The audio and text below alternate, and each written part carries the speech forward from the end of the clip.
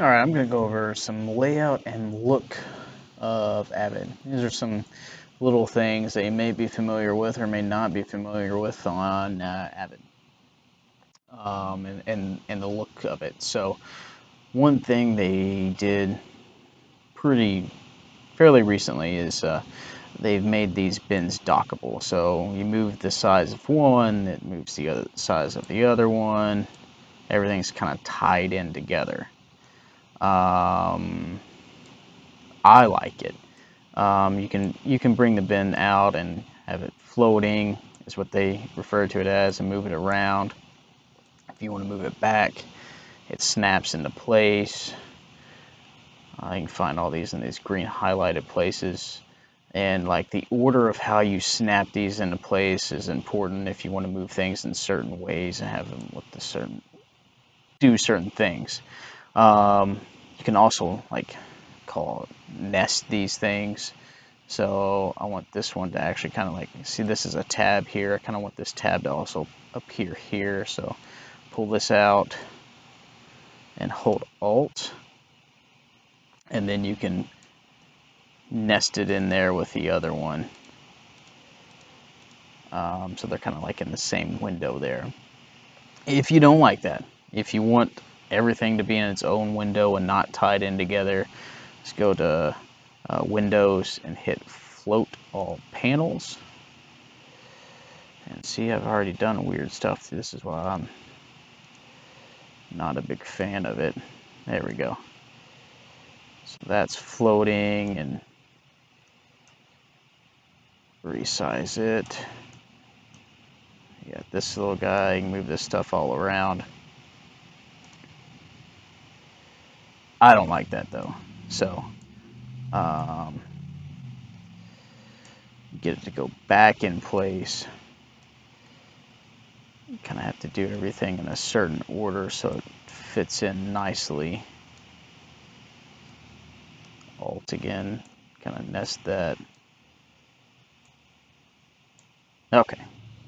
So now I've got rid of that craziness. Um, you can also like change the background color of your bin if you wanted to. If you had different bins open, you're like, oh, this is the one I want to edit from, not this one. Let's make... Uh, well, I think I need to be in some negative space in order to right click on that.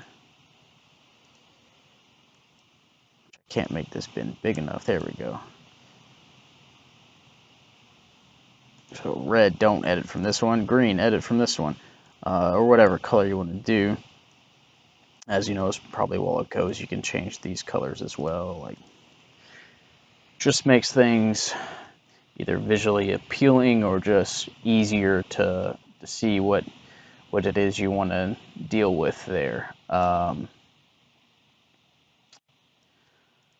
uh, if you wanted to drag this put it in this bin, but you also wanted it to stay in this bin, if you hold control, click, click and drag,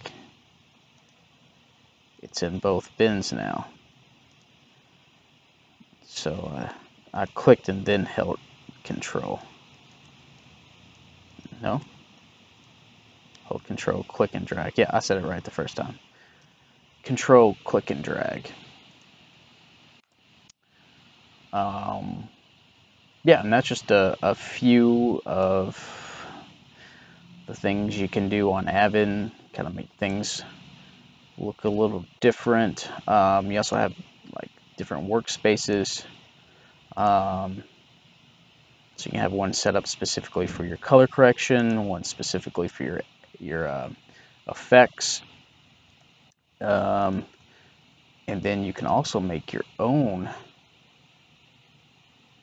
uh, Windows workspaces, new workspace, kind of create your own workspace if you wanted to do that as well. Um, you can name it. And that just pops up down there. Um, but yeah, I encourage you to try those out. Um, see what works for you because everyone uh, everyone's mind works a little differently differently everyone functions a little differently so everyone should have a little different layouts